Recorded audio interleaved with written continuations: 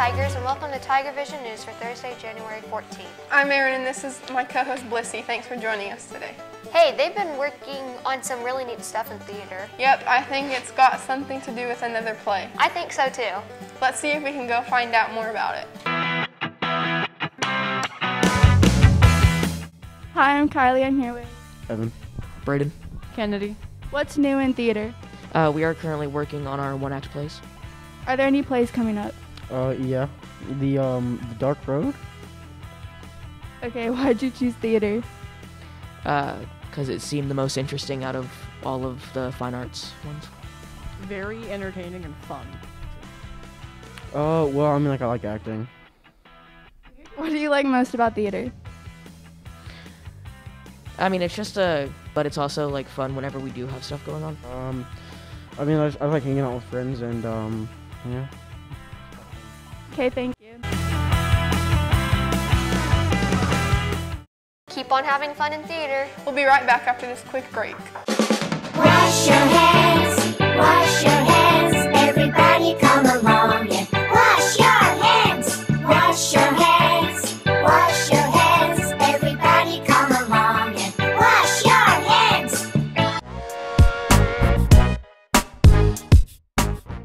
Make sure to come to the library on Friday, January 15 to fill out your bracket and we can all make our predictions and smack talk to each other. During all three lunches, make sure to come. Welcome back to Tiger Vision News. Did you know that yearbooks are still for sale? Yeah, I did, but you have to get your order turned in to Miss Allison really soon. Let's go see if we can find out when yearbook orders need to be turned in. Hi, Wilson here with Camden. Osiris. When will the staff be selling yearbooks? They're on sale now at www.yearbookforever.com. How much will the yearbooks cost? 45. Where can we buy them? You can buy them online or go see Miss Allison. When will the yearbooks come in? Uh, May, around May. Thank you.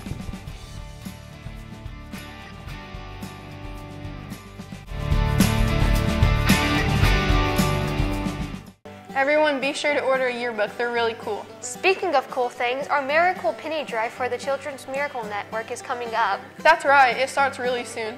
There are all sorts of plans for you to donate and help out others. We will have an interview with one of our NJHS members soon.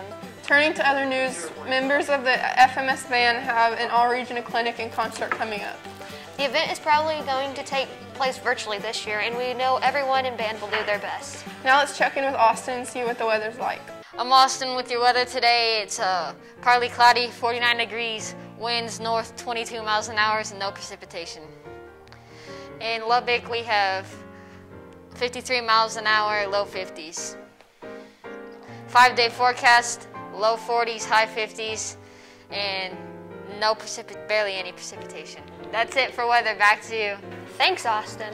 Now let's find out what's going on in sports. Hello, FMS sports fans. I'm JJ and this is Jack, and here's a look at today's sports. The next basketball games for the boys are this afternoon. They play Heritage in what should be some pretty good games. Let's find out more about it.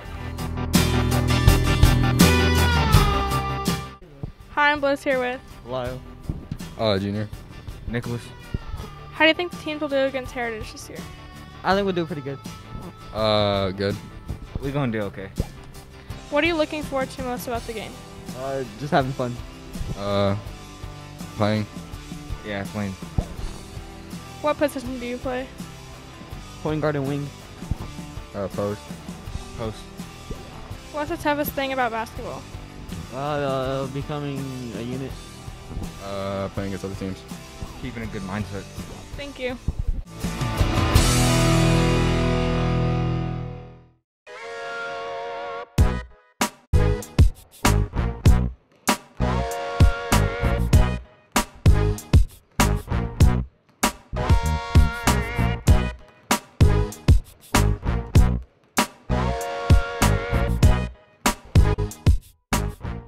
The seventh graders play at the ninth grade center, while the eighth graders play at the Tiger Pit. The first game start at 5:30. Play hard, Tigers.